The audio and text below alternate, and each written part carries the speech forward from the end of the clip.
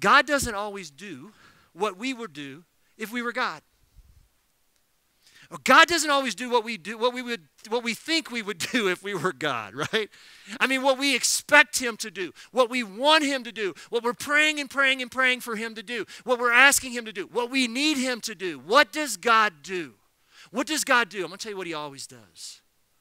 He always does what He promises that He will do. And that is why in seasons like this in our life, when these storms are coming at us from so many different directions, there's so much uncertainty, so much unknown, we have to lean in hard to exactly what it is that God promises to do. And in this psalm that we're reading today, Psalm 91, He doesn't promise to keep us from it, He promises to deliver us from it.